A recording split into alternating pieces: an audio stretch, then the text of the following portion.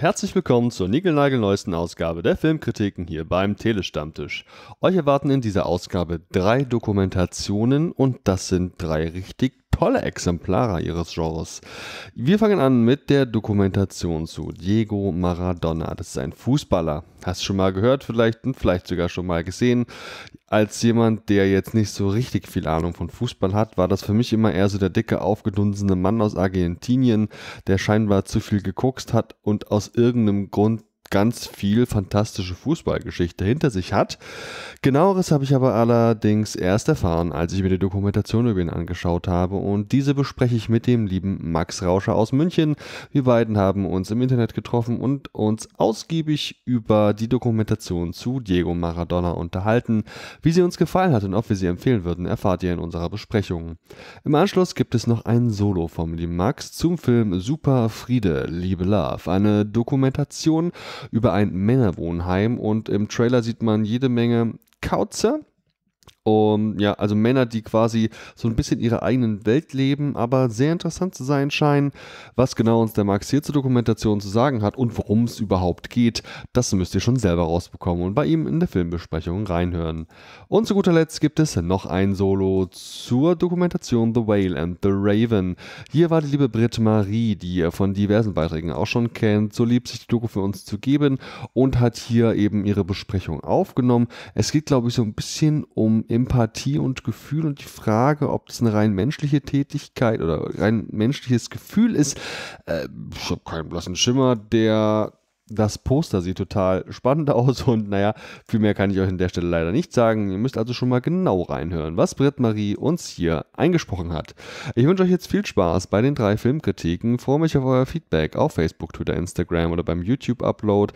Ich freue mich darauf, wenn ihr vielleicht, aber sicher irgendwelche Bewertungen hinterlassen wollt. Das könnt ihr tun auf Apple Podcast, auf Facebook, auf Google, auf podcast.de, auf fit.de und keine Ahnung, du findest schon noch Möglichkeiten, irgendwo eine Bewertung dazulassen. Das hilft dem Telestammtisch doch sehr. Bitte, bitte tut das, denn nur so können wir die Reichweite langfristig erhöhen. Wir freuen uns, wie gesagt, auch immer mal, wenn wir von euch hören.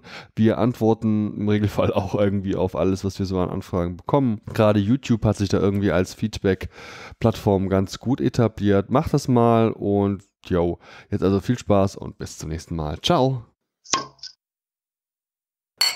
Hallo und herzlich willkommen zur Besprechung der Dokumentation Diego Maradona. Und dreimal dürft ihr raten, wovon die Dokumentation handelt, die eine Gesamtlaufzeit von 2 Stunden und 10 Minuten mitbringt und am 5. September 2019 in die deutschen Kinos kommt. Und es ist dieser Moment gekommen, wo ich nicht nur den Film selbst gesehen habe, sondern endlich mit jemandem drüber reden kann, der hier beim Telestammtisch sowas wie der offizielle Fußballexperte geworden ist, nachdem er vor kurzem bereits eine andere Doku, ich glaube Toni Kroos hieß sie, besprochen hat Moinsen, Max. Hallo, lieber Andi, grüß dich. Danke für die nette Anmoderation. ja, aber klar doch, Mann. Ich freue mich tierisch, dass du jetzt seit geraumer Zeit den Telestammtisch unterstützt und hier auch wirklich eine ganze Menge Sachen schon besprochen hast. Unter anderem zuletzt ja auch Toni Kroos. Bist du so Fußballfan oder machst du das einfach nur, weil ich das aufs Auge drücke? Ähm, nee, ich war es mal. Ich war es mal sogar sehr extrem, habe dann auch äh, kleine Kinder trainiert und so weiter. Ähm, wollte mich da richtig reinfuchsen und habe aber jetzt seit zwei Jahren mehr oder weniger ein bisschen die Lust am Fußball verloren, weil es mir dann doch zu kommerziell geworden ist. Aber das ist eine andere Geschichte, glaube ich.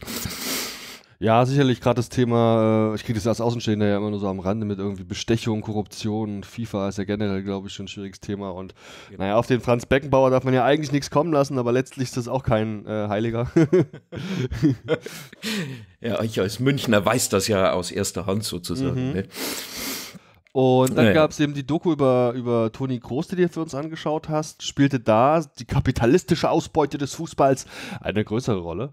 Naja, was heißt größere Rolle? Der Film, der war ja so schön weich gespült, dass man eigentlich schon fast denken musste, dass die Fußballer es lieben, in dieser äh, Mühle des Kapitalismus äh, dabei sein zu dürfen. Nee, aber man hat schon gemerkt, dass der, die Fußballer ziemlich wie naja, Werbefiguren streckenweise einfach nur oder Litfaßsäulen äh, herumgeschubst und herumgeschoben werden. Das war in einigen Szenen am Anfang von Toni Kroos ja recht gut zu sehen. Leider ist der Film dann ziemlich verflacht. Mhm. Und ähm, ja, und jetzt haben wir mit äh, Diego Maradona eine etwas ähm, andere Persönlichkeit, würde ich mal sagen, oder? Ja, definitiv. Und das auch so einer, der ist volles Rohr auch in die Tretmühlen des Fußballs geraten, nur eben schon vor einigen Jahren in den 80ern halt einfach.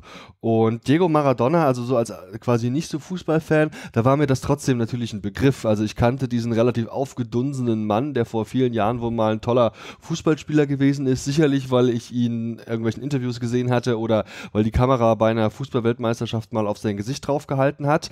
Der ist doch irgendwie auch in irgendeinem Vorstand oder so mit drin, schätze ich mal.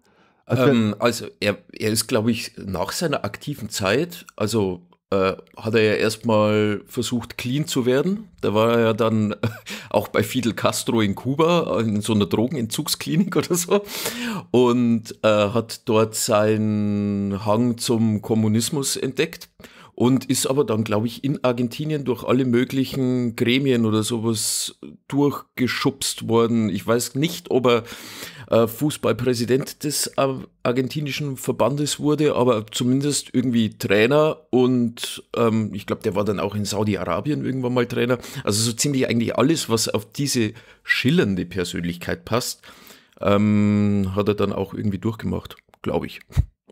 Und in der Dokumentation, die wir heute besprechen wollen, geht es eben im Wesentlichen ja eigentlich um seine Zeit in Neapel, war es, glaube ich, genau. Ja. SSC Napoli.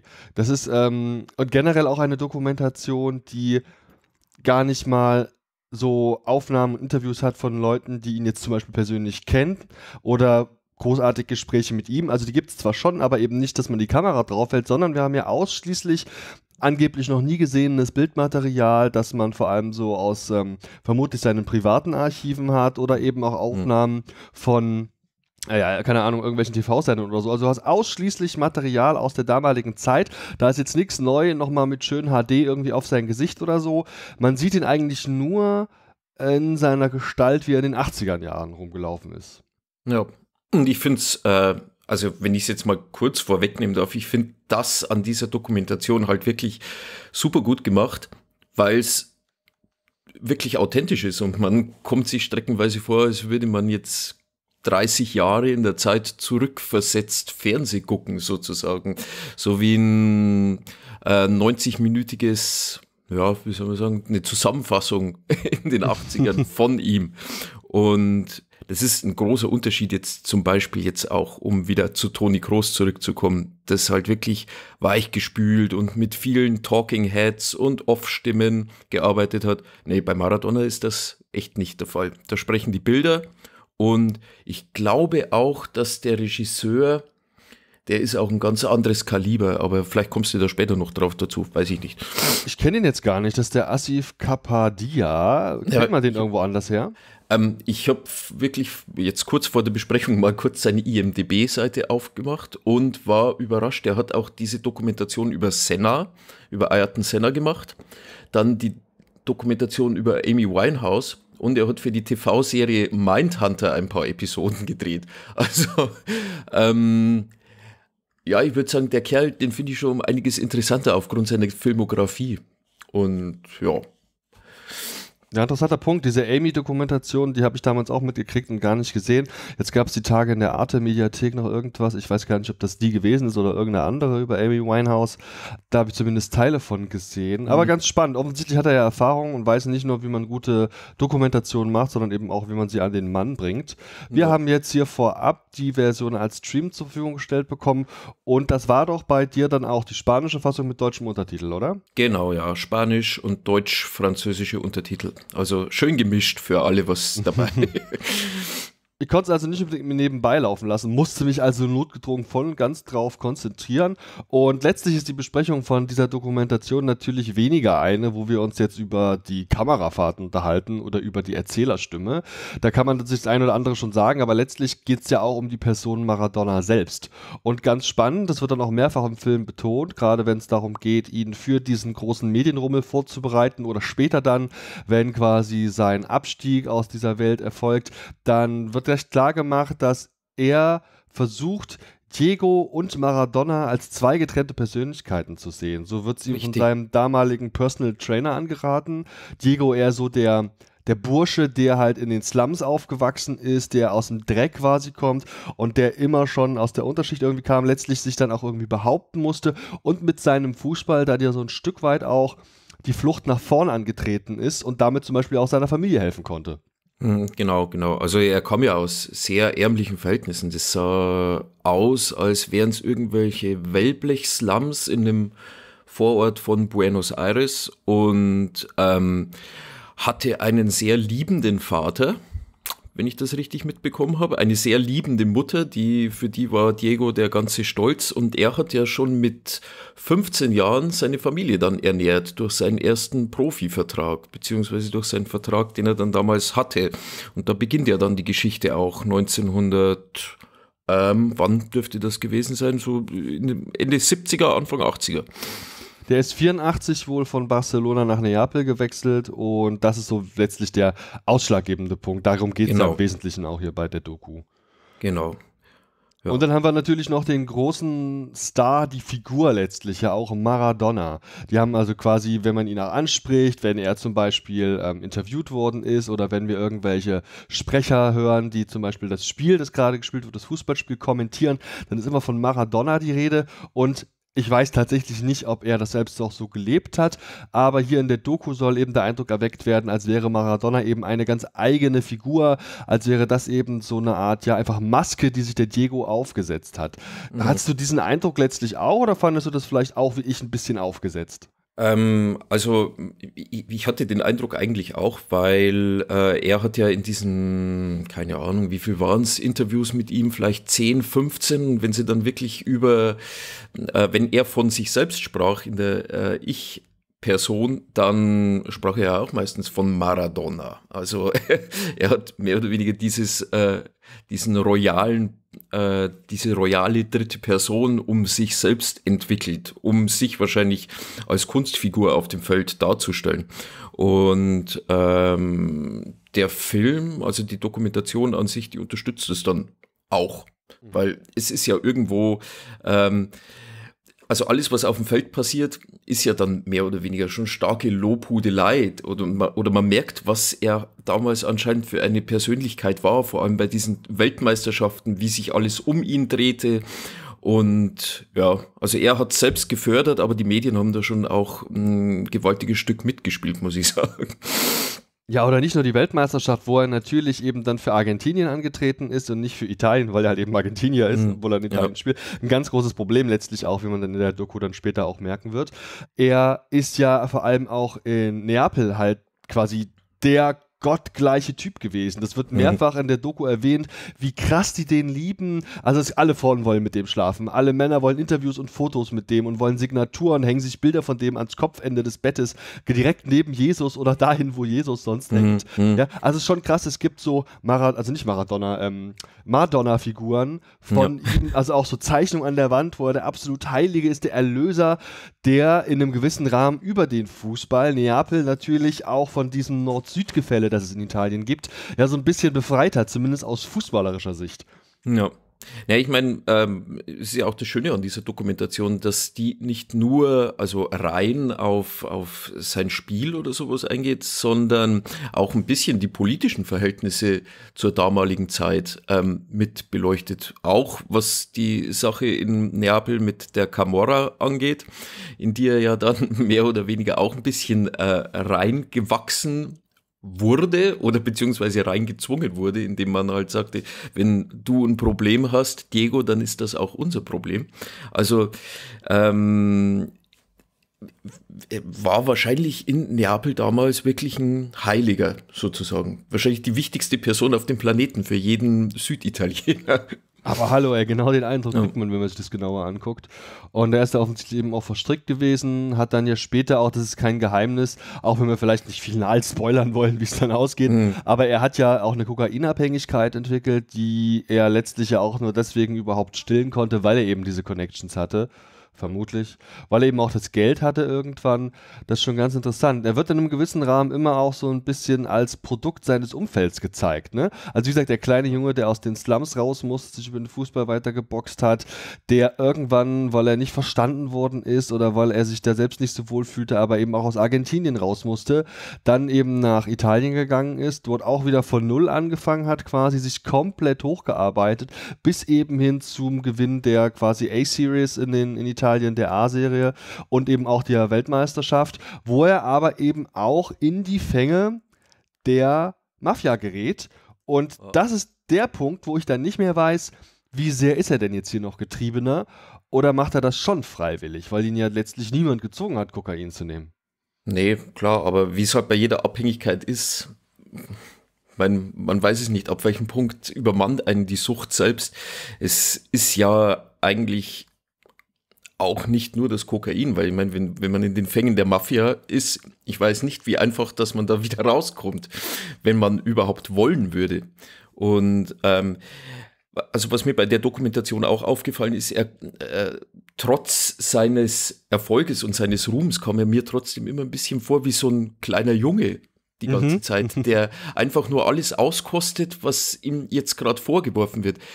Ist auch bei den Frauengeschichten irgendwie äh, viel zu sehen. Ich meine, da können wir jetzt auch wieder kurz Spoilerwarnung, aber ähm, dieses uneheliche Kind, das er zeugt, das, da hat ja auch die ähm, Frau, mit der er es gezeugt hat, im Grunde genommen so gesprochen, als hätten sie im Grunde genommen gewusst, was sie da machen und wären dieses Risiko bewusst eingegangen, dass sie da jetzt ein Kind zeugen. Aber es klang alles doch super naiv. Und ähm, so finde ich, hat sich auch seine Karriere irgendwie durchgezogen. Also bis eben dann zum großen Höhepunkt am Ende nach der Weltmeisterschaft 1990, als ihn dann die Justiz verfolgt hat. Aber gerade weil du eben auch nochmal die Frauengeschichten ansprichst und der hat ja nicht nur diese zwei Kinder mit seiner Frau und dieser, sage ich mal, Bekanntschaft gehabt, der hat ja wirklich einige Frauen im Laufe seines Lebens gehabt. Das ist zumindest der Eindruck, den ich nach der Dokumentation habe. Mhm. Und okay, ich habe jetzt damals nicht gelebt und wahrscheinlich macht viel auch der Ruhm und der Hype und so. Und es fällt mir eh generell, glaube ich, nicht so leicht, Männer und deren Optik zu beurteilen. Aber Findest du, dass Maradona ein hübscher Kerl war? Also am, am ehesten noch vielleicht in seiner Jugendzeit, Anfang 20, da finde ich, hat er so einen gewissen Charme ausgestrahlt, den ich irgendwie cool fand. Aber so später, da sieht er doch einfach nur noch, ah, der sieht doch immer irgendwie, entweder sieht er aus wie ein Gorilla oder ein bisschen stumpf. Also fällt mir sauschwer nachzuvollziehen, was da den Typen jetzt zu dem Ladiesman gemacht haben soll. Ja, keine Ahnung, vielleicht waren die Zeiten auch irgendwie anders. vielleicht, ja. Ähm, nee, also es ist für mich natürlich auch nicht nachvollziehbar, weil im Grunde genommen ist er, ist er wie so ein, ja, ich glaube, das mit dem Gorilla, das trifft schon ganz gut, muss ich sagen. eine Mischung aus Gorilla und Biber. Aber ähm, nee, das ist das Geld, ganz klar. Also, Geld. Was auch sonst. Ja. Prima. Gibt es noch Punkte, die du allgemein besprechen möchtest oder kommen wir jetzt zum Fazit? Ich muss mal kurz auf meinen schlauen Zettel gucken. Ich habe ja hier ein bisschen mitgeschrieben. Nee, ich habe die politischen Sachen habe ich ja angesprochen, dass da auch zu der Falkland-Krise 86 und das Verhältnis zu England ein bisschen was gesagt wurde. Mhm. Und auch ähm, was bei der WM 1990 das Verhältnis zwischen den Italienern, den Norditalienern und den Süditalienern praktisch irgendwie so los war. Deswegen glaube ich, können wir zum Fazit kommen dann drängle ich mich da einfach mal vor. Mir hat der Film Diego Maradona gut gefallen. Ich bin absolut kein Fußballfan. Ich habe vor Jahren aufgehört, die WMs und EMs zu verfolgen. Steckt einfach null im Thema drin. Ich kann mit den meisten Namen nichts anfangen. Und trotzdem muss ich sagen, habe ich hier nicht nur viel gelernt, ich wurde auch super unterhalten. Gerade diese Einblicke, die ja offensichtlich aus seinem persönlichen Videoarchiv stammen, das fand ich schon klasse. Also jetzt nicht unbedingt, wie er sich da mit seiner Tochter im Wohnzimmer auf dem Boden wälzt, sondern eher Aufnahmen aus der Umkleidekabine, irgendwelche Außen Aufnahmen von den Spielen, äh, sehr private Aufnahmen, wo er dann eben auch mit den Mafia-Leuten irgendwie an einem Tisch sitzt und so. Das fand ich doch wirklich interessant und ich habe die Person Diego Maradona jetzt deutlich besser irgendwie kennengelernt, zumindest das ist mein persönliches Gefühl. Allerdings gibt es zwei Dinge, die mir so ein bisschen, naja, also die hätte ich vielleicht anders gern gesehen. Zum einen die Frage des Zeitraums. Das spielt hier im Wesentlichen eben in seiner Zeit in Italien und eben auch ganz knapp danach noch. Das alles schön und gut und irgendwo heißt es auch, das wäre die Geschichte Diegos. Das müsste man dann eben in so einem Film erzählen. Davor und danach ist eigentlich egal. Aber ich muss sagen, ich finde die Zeit danach fast schon ein bisschen spannender. Also, falls da mehr geschehen sein sollte, als dass er nur noch die einzelnen Entzugskliniken abge tingelt hat, sondern dass da wirklich vielleicht noch eben auch eine Zeit als Trainer war, eine Zeit als Experte, zum Beispiel eben auch, wir sehen einen kleinen Ausschnitt dann noch, wie er dann tatsächlicher Kontakt wieder mit seinem Sohn aufnimmt und so. Davon hätte ich gern mehr gesehen, äh, weil ich persönlich jetzt dann relativ schnell verstanden hatte, wie das in Italien so läuft.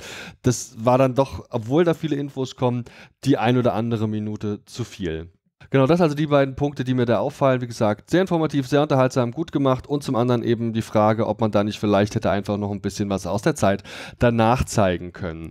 Deswegen kann ich also wirklich hier gut gemeinte vier von fünf Punkten geben, eigentlich vielleicht sogar ein bisschen mehr. Wenn man noch so ein bisschen Fußballfieber mitbringt, ist man, glaube ich, mit der Dokumentation sehr gut bedient. Max, wie sieht es da bei dir aus? Bei mir sieht es äh, relativ ähnlich aus, nur in einem Punkt ich, äh, bin ich ein bisschen anderer Meinung als du. Ich finde es äh, exakt äh, umgekehrt. Ich finde es sehr schön, dass die Zeit zwischen 84 und äh, 92 so beleuchtet worden ist und nicht die Zeit danach. Denn ähm, ich persönlich, das ist aber wirklich jetzt nur eine persönliche Meinung, ich persönlich habe eher die Zeit danach kennengelernt und für mich war äh, alles, was praktisch in seiner aktiven Zeit passiert ist, relativ neu.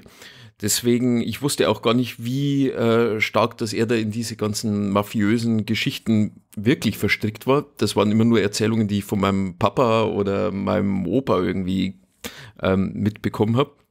Und das dann mal äh, auf Bildschirm zu sehen in einer recht nah gefilmten Dokumentation, das fand ich schon sehr beeindruckend.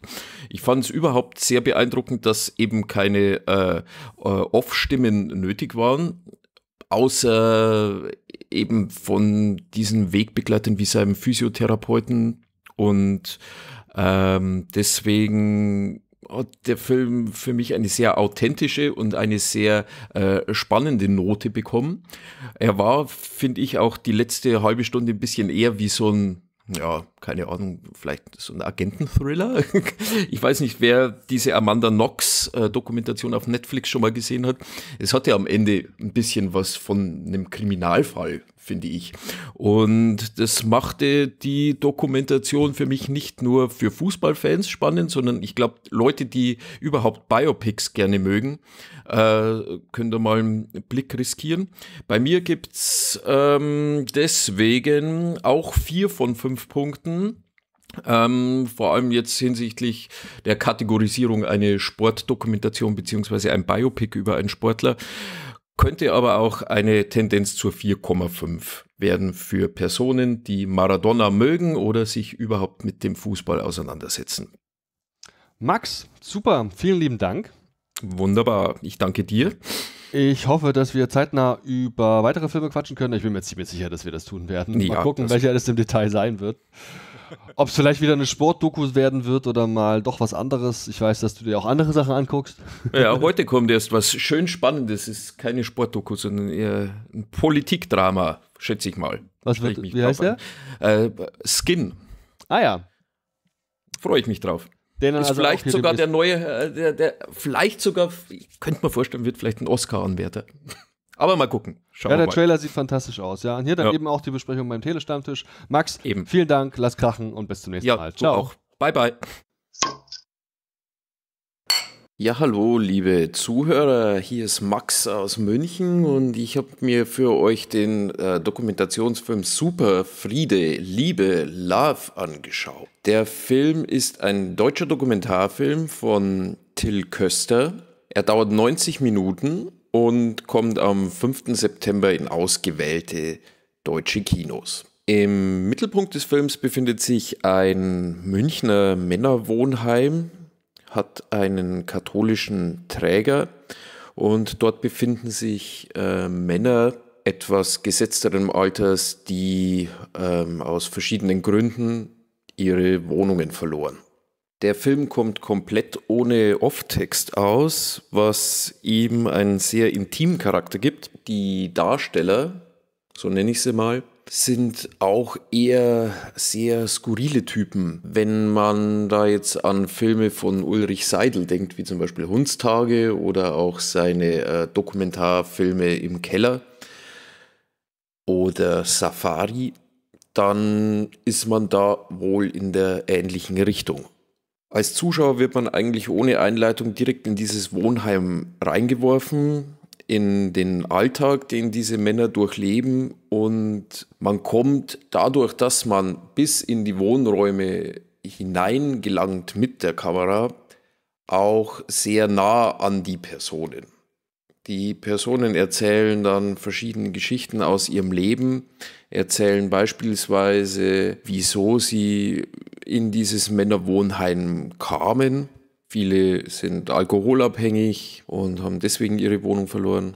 Was ich dann besonders erschreckend fand, war doch die relativ klare äh, Ausdrucksweise, mit der hm, viele Bewohner im nüchternen Zustand dann natürlich äh, über ihre Probleme sprachen, dass sie sich sehr wohl bewusst sind, wieso sie in diese, ich nenne es jetzt mal Scheißsituation geraten sind, in diesem Wohnheim wohnen zu müssen ähm, aber trotz der Tristesse, die dieser Film in seinem Bildmaterial wunderbar beschreibt, sieht es nicht so aus, als hätten die Bewohner komplett ihren Lebensmut oder ähnliches verloren. Einige von ihnen sprechen von Selbstmordversuchen, die sie in ihrer Vergangenheit unternommen haben.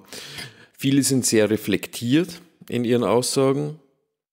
Es gibt aber natürlich auch ein, zwei Mitbewohner, die ihr Leben wegen psychischen Krankheiten nicht mehr im Griff haben. Und dazu zählt für mich der, äh, ich würde es mal sagen, Hauptdarsteller dieser Dokumentation, der keinen Namen hat, glaube ich, ähm, der auch für den Titel des Films Super Friede, Liebe Love äh, verantwortlich ist der nämlich ständig mit sich selbst spricht und dieses Super Friede, Liebe, Love als ständiges Mantra vor sich hin brabbelt, um seinen eigenen Seelenfrieden oder seinen inneren Frieden zu behalten. Ich muss sagen, normalerweise finde ich solch intime Einblicke in das Leben anderer, wenn es gut gemacht ist, sehr spannend. Ähm, in diesem Fall weiß ich nicht ganz genau, was der Film zeigen will. Also er muss ja irgendwie eine Absicht haben,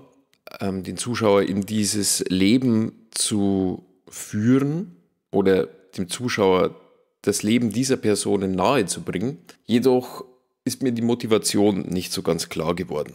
Das hat zwei Gründe. Der erste Grund ist, dass man vom Filmemacher selbst überhaupt nichts mitbekommt.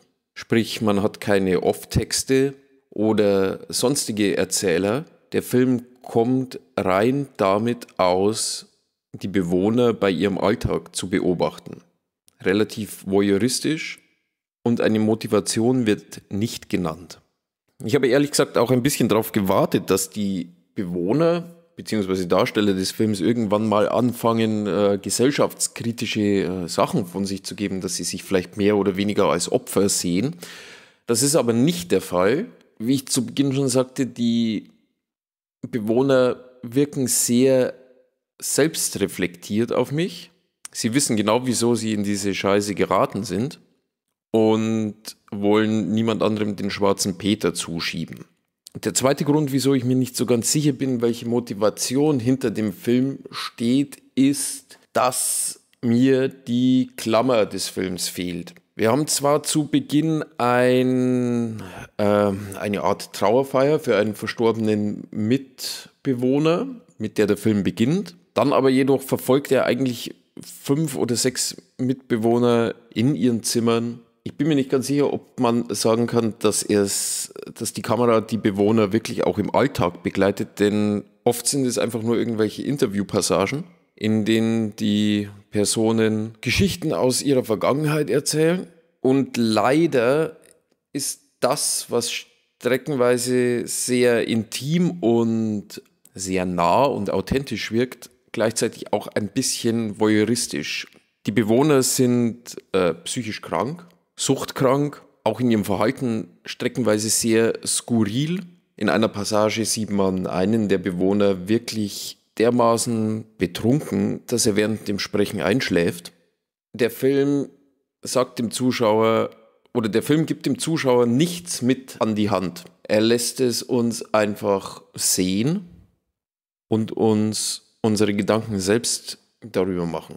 In diesem Punkt fehlt mir vielleicht ein kleines Wort des Filmemachers, beziehungsweise ein etwas anderer Schnitt oder eine etwas andere Dramaturgie, um dem Ganzen ein wenig den Peepshow-Charakter zu nehmen, beziehungsweise Freakshow-Charakter, muss man in dem Fall fast sagen. Was beispielsweise auch Ulrich Seidel in seinen Filmen immer wieder macht, die skurrilisierte Darstellung der Person, versucht dieser Film auch. Wir haben es hier im Gegensatz zu Ulrich Seidel-Filmen aber nicht mit Personen zu tun, die sich bewusst an den Rand der Gesellschaft stellen, um etwa ein wenig außergewöhnlicher zu wirken, wie man das beispielsweise bei Im Keller oder Safari sah. Wir haben es hier mit Personen zu tun, die in gewisser Weise nicht aus ihrem eigenen Körper herauskommen, die gewisserweise in ihren eigenen Zwängen gefangen sind und an ihrem Leben und an ihrem Verhalten gar nichts verändern können, ohne therapeutische Hilfe beispielsweise.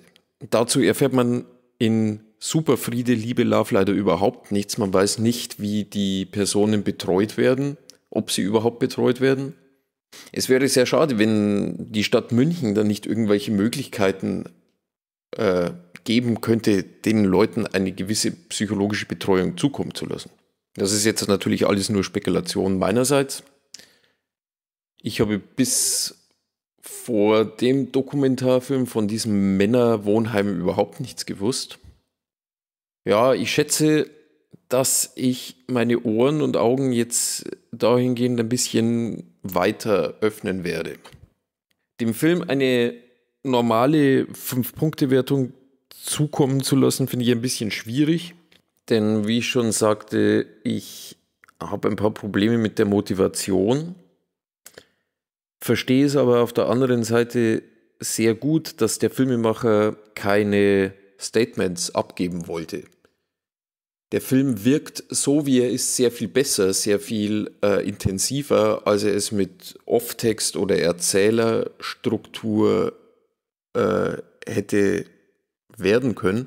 Deswegen glaube ich, würde ich den Film irgendwo zwischen 3 und 3,5 von 5 Punkten ansiedeln. Er lässt einen auf jeden Fall nicht kalt. Mich hat er zumindest dazu gebracht, mich in Zukunft mit diesem Thema ein bisschen mehr auseinanderzusetzen. Ich vermute, dass der Film nicht unbedingt in vielen Kinos laufen wird. Deswegen schätze ich, wird man ihn wohl eher beim ZDF in der Rubrik Das kleine Fernsehspiel sehen. Die haben da auch mitproduziert, soweit ich weiß. Und sehr viel mehr möchte ich dazu auch gar nicht mehr sagen.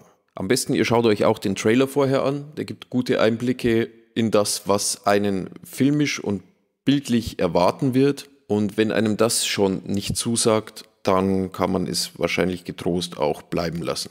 Denn dann wird einem die Erzählstruktur sicherlich nicht zusagen und man würde mit dem Film gar nichts anfangen können oder ihn schlimmstenfalls sogar falsch interpretieren. Das war's von mir. Max aus München wünscht euch einen schönen weiteren Tag und viel Spaß mit den weiteren Podcasts. Hallo, hier ist Britt-Marie aka Dunderklumpen 80 vom Klatsch und Tratsch Podcast Frankfurter Kranz, dem deutschsprachigen Jane Austen Podcast bei Lady und dem Star Trek Podcast Trackgasm. Ich bespreche für euch heute den Film The Whale and the Raven, Der Wal und der Rabe. Der Dokumentarfilm ist 101 Minute lang und startet in Deutschland am 5. September. Er ist ohne Altersbeschränkung, kann also von jedem gesehen werden und die Regisseurin ist, und ich hoffe, ich spreche sie richtig aus, Mirjam Leutze. Worum geht es in The Whale and the Raven? Im Kern des Filmes steht die Frage, was wäre, wenn Selbstwahrnehmung, Mitgefühl und Denken nicht ausschließlich menschliche Fähigkeiten wären? Dass Wale mehr sind als nur unintelligente Tiere, dass sie eben Selbstwahrnehmung und Intelligenz haben und auch emotionale Bindungen aufbauen können. Davon sind Jenny Ray und Hermann Meuter überzeugt. Die beiden Forscher beobachten seit 15 Jahren das Verhalten von Orcas, Buckelwalen und Finnwalen an der Westküste Kanadas in der Nähe der Küstenstadt Kitimat. Dort sind sie in der Lage, unter fast idealen Voraussetzungen ein Gebiet zu beobachten, das von Walen nur so wimmelt. Dort kommen die Tiere hin, um zu jagen und zu fressen und zu schlafen, etc. In einer Szene sehen wir Janie, wie sie ihre üblichen stündlichen Beobachtungen der Region macht und allein dabei an die 30 Wale zählt. Doch das idyllische Paradies ist bedroht. Vor Jahren gab es Proteste gegen die Ölindustrie, die eine Route durch den Fjord und damit eben durch das Gebiet der Wale als Transportweg nutzen wollte, um eben ihr Öl zu transportieren. Es gab äh, riesige Proteste. Die Ureinwohner haben zusammen mit verschiedenen Umweltgruppen äh, dagegen Einspruch erhoben und nach einem Kampf, der über zehn Jahre dauerte, haben sie endlich gegen die Ölindustrie gewonnen und die Pläne verhindert. Doch wie es oft so ist, während man in die eine Richtung schaut, schleicht sich von der anderen Richtung jemand an. Denn genau den gleichen Plan verfolgt jetzt die Flüssiggasindustrie, die auch wieder in Form von großen Supertankern die Transportroute durch den Fjord nutzen will, um Flüssiggas nach Asien zu transportieren. Und ganz klar, egal ob jetzt Öl transportiert wird oder Flüssiggas, dies führt zu massiven Problemen für die Tiere, sprich die Wale der Region. Welche Folgen diese riesigen Tanker mitten durch das Walgebiet haben würden, ist im Grunde nicht absehbar. Aber dass es nichts Gutes bedeutet, das kann man sich schon denken. Im Film bekommen wir zu hören, wie laut diese Schiffe sind und allein das Geräusch, das ein einziger solcher Tanker macht, ist katastrophal und reißt einem als Zuschauer fast den Kopf weg. Es ist so ähnlich, als würde man keine zwei Meter von einem Flughafen entfernt wohnen und jeden Tag würden große Flugzeuge genau neben einem starten und landen. Dass der Lebensraum der Tiere dadurch sehr stark eingeschränkt wird und auch zum Beispiel die Möglichkeit, ihr so nah zur Orientierung zu nutzen, dadurch äh, zerstört wird. Dafür braucht man kein Wahlforscher zu sein, um das zu verstehen. Doch es gibt auch noch eine andere Seite. Denn die Vereinten Stämme der Ureinwohner haben sich nicht gegen die Pläne der Flüssiggasindustrie ausgesprochen, sondern ihnen zugestimmt und wollen die Tanker auf ihrem Gebiet erlauben. Sie haben sich vertraglich verpflichtet, sich öffentlich nicht gegen die Pläne zu äußern. Die Einheimischen erhoffen sich von der Industrie ein kleines Wunder. Arbeitsplätze, bessere Wirtschaft, ein Aufblühen der Region, die ganze Zukunft hängt an der Flüssiggasindustrie. Als Zuschauer ist man ganz auf der Seite der Wahlforscher und der vereinzelten Stimmen der Ureinwohner, die sich gegen die Supertanker aussprechen.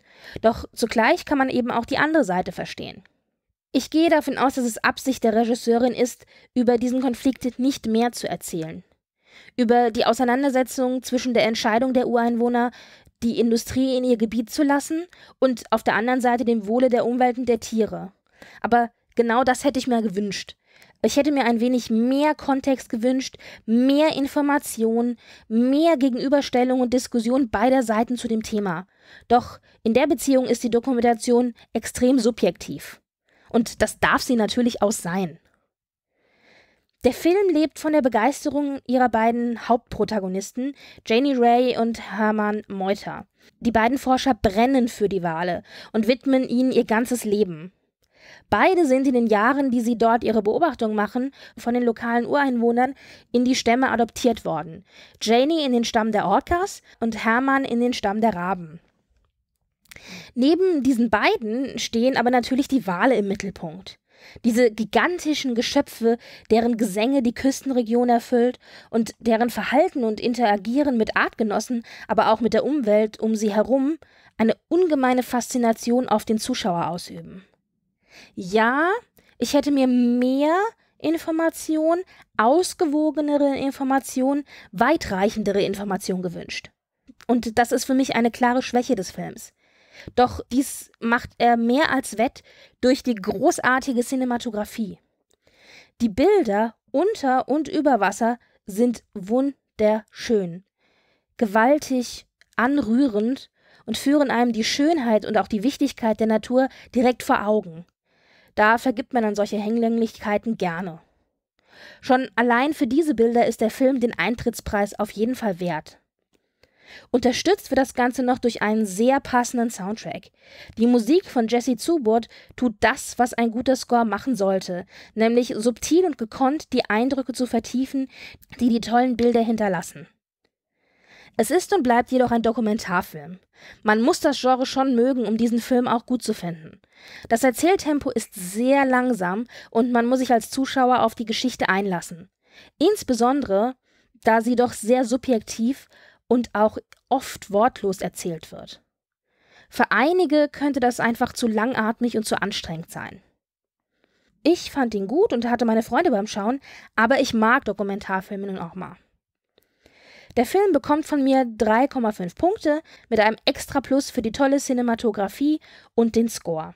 Wer Dokumentarfilme mag und vielleicht auch gerade jetzt im Zuge der Klimawandeldiskussion einen Einblick in eine Küstenregion bekommen möchte, die davon betroffen sein wird, für den ist The Whale and the Raven genau richtig.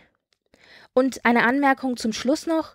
Der Titel bezieht sich natürlich auf den sprichwörtlichen Raben und die sprichwörtlichen Wale, die sich in der Region dort tummeln und deren Rufe und Gesänge man im Film immer wieder begegnet. Aber Genauso wie dies ein Film über die Tiere ist, ist es ein Film über die Menschen, die mit dieser Region verknüpft sind. Und es ist natürlich auch ein Film über Janie, Mitglied des Walstammes, und Hermann, Mitglied des Rabenstammes, die ebenfalls den Titel repräsentieren. Denn sie sind buchstäblich der Wal und der Rabe.